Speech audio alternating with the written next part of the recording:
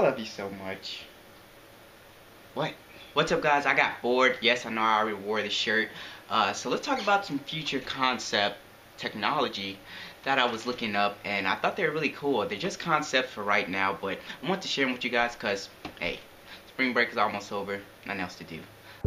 So coming up first is the Artiphon Instrument 1. So this is supposed to be a hit with digital instruments. So this instrument is a single device. It's uh, being used to be able to mimic a different variety of instruments like a let's say an organ or a guitar, anything like that, even even electronic instrument. It can hook up to any MIDI compatible software and it can also be used for applications like GarageBand. So I can see this being a huge hit with um, instruments. So it's $349 for the Kickstarter. So it sounds like a pretty cool idea.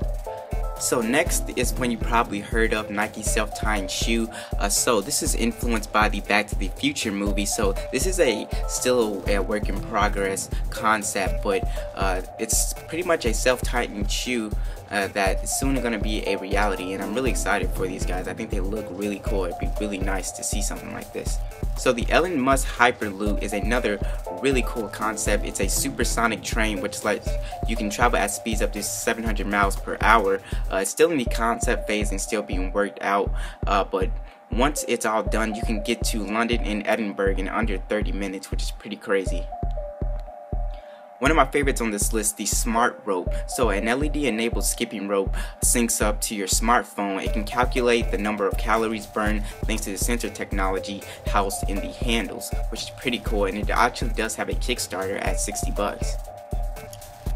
So next is the Life Hub. So this is another cool concept thanks to flexible OLED displays, Bluetooth earpieces, and other connectors, Life Hub can be shaped into a smartwatch, into a smartwatch or a smartphone, and even a headset, even a Bluetooth speaker or a projector. So the concept with this guy is that you don't need all separate devices uh, to be able to do something, which I think this guy is way ahead of his time. But I can see like this actually becoming true, and it would be pretty cool to see.